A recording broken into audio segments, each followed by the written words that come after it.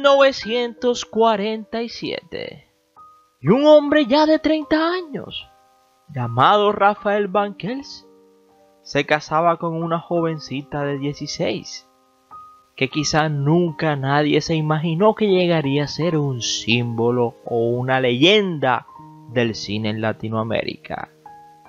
Silvia Pinal.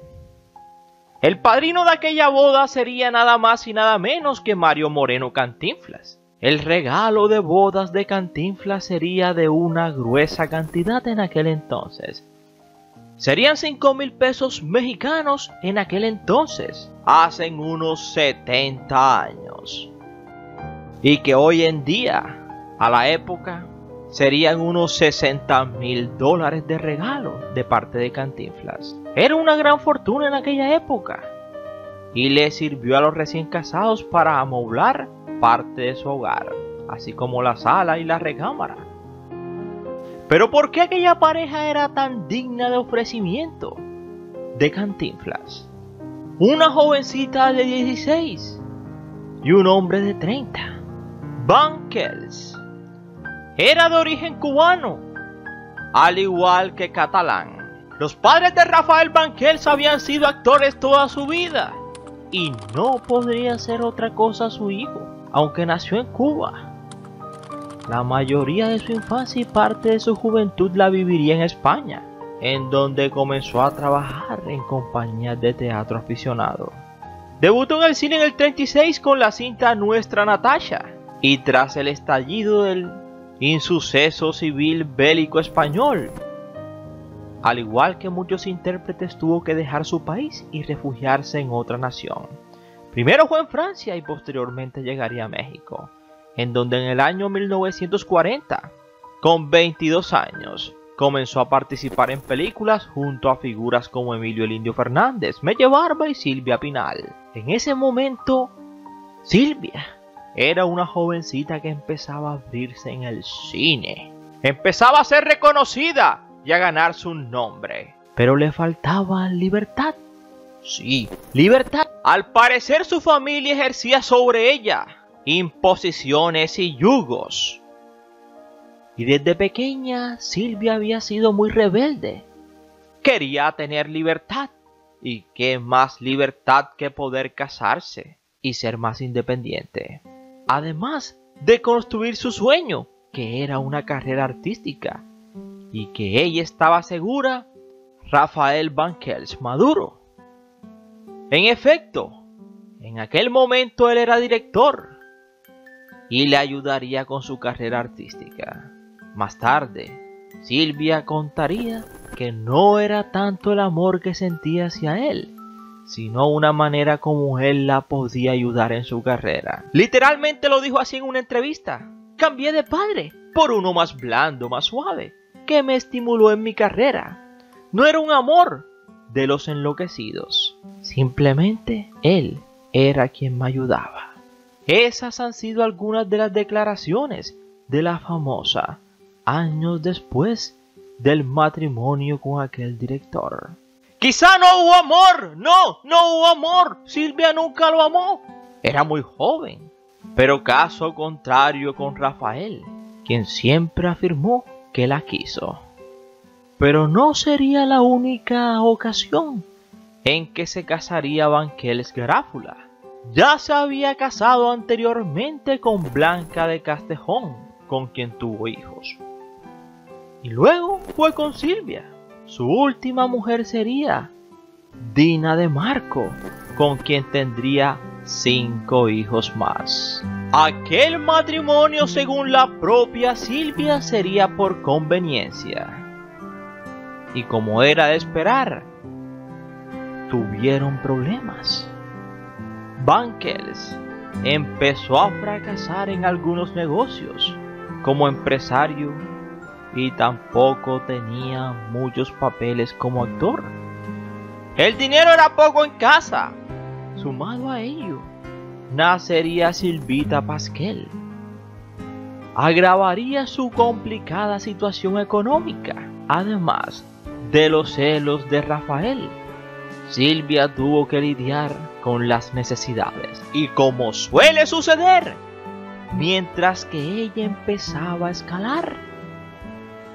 Banquels empezaba a caer. Hasta que lo que todo el mundo pensaba ocurrió.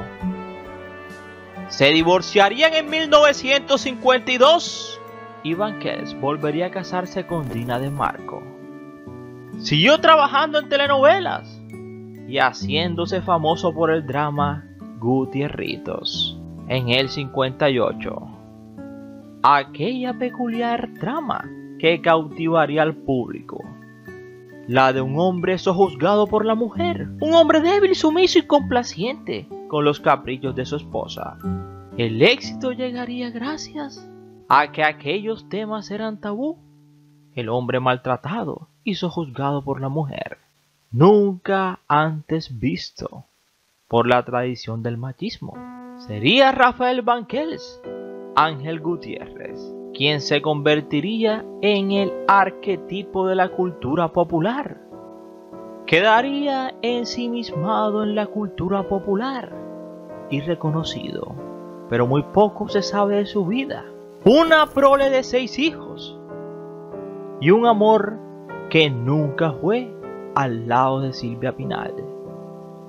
Todo esto y más te lo contaremos aquí en Así vivió Rafael Banquels. Y una vez más, gracias por preferirnos. Recuerda que cada día somos más y que tú eres nuestra estrella. Mis estrellas, si no se les olvidó suscribirse, compartir y darle like. Mis estrellas.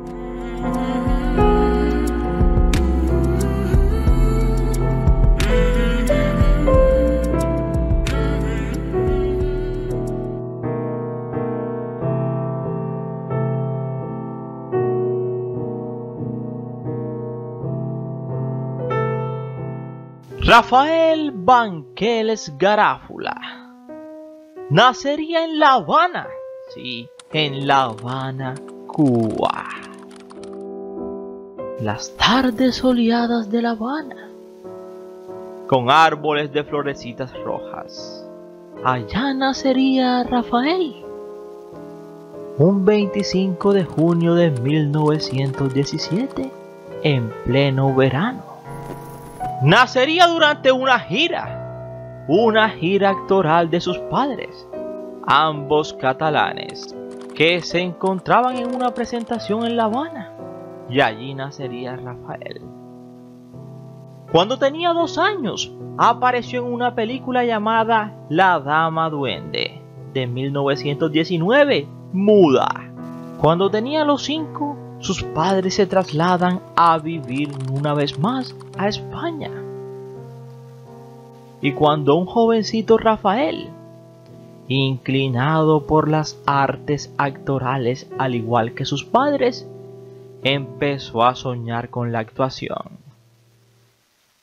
Sería en la película del año 1935 filmada en Barcelona, titulada Nuestra Natacha.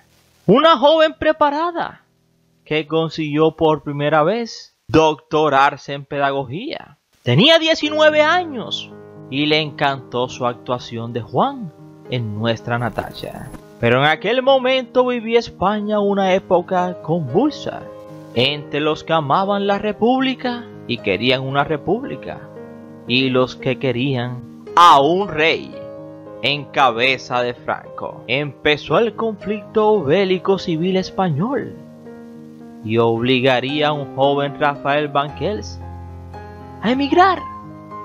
Primero emigraría a Francia, pero escuchó que había un país en Latinoamérica que abría las puertas al mundo para actuar, ser reconocido y tener una puerta abierta.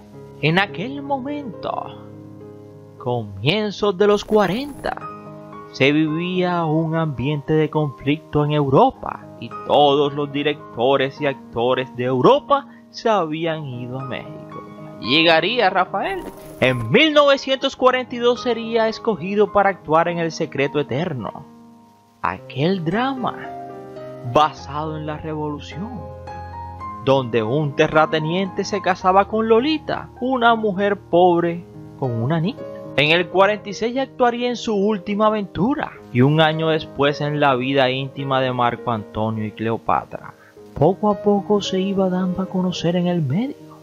Por aquel tiempo estaba casado con Blanca de Castejón, una actriz de origen puertorriqueño que trabajó en Hollywood, Argentina y México en la época de oro. Llegó a ser una gran figura, pero en aquellos efervescentes momentos llegó a un ictus la pareja.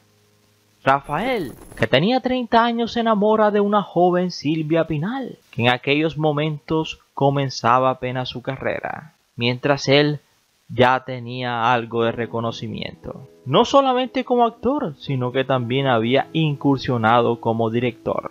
Incluso llegó a ser director de Senda Prohibida, del 58, y también de Teresa. Y por supuesto de Gutierritos, donde también actuó. En aquel momento comienza una tórrida relación entre Rafael y la jovencita Silvia. Pero Rafael tenía que abandonar a su mujer, a Blanca, para poder ser libre y así poder casarse con la joven. Por otro lado, Silvia en aquel momento no tenía una buena relación con su padre, Moisés Pasquel, quien no la reconoció como su hija debido a que había sido concebida fuera del matrimonio. Sería hasta los 11 años que su padre decidió acercarse a ella. Sí, y la reconoció y le dio el apellido Pasquel a Silvia Pinal. Realmente Silvia Pasquel. Sin embargo, su padre ejercía mucho control sobre ella, lo que le perjudicaba justo cuando empezaba su carrera en el teatro y los directores comenzaban a llamarla para protagonizar sus obras. Así que era una conveniencia casarse y salir del yugo del padre autoritario como lo hizo. Más tarde Silvia diría, me casé para escapar de la opresión de mi padre y me fue peor. Rafael era celosísimo y no me dejaba salir ni a la esquina.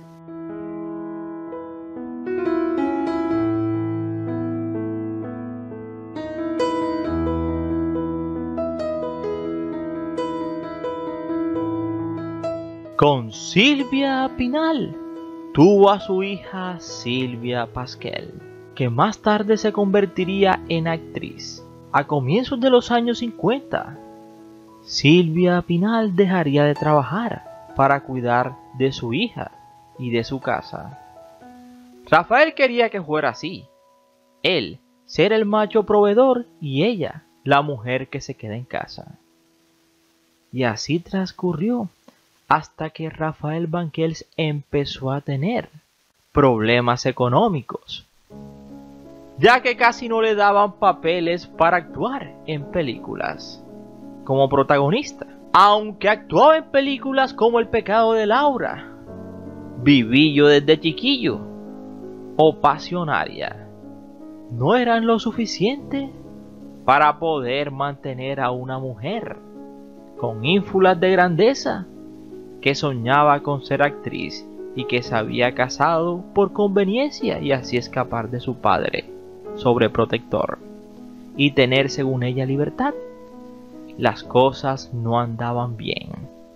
Tenía que esforzarse demasiado el viejo Rafael para poder complacer a su mujer. Otro problema era la edad.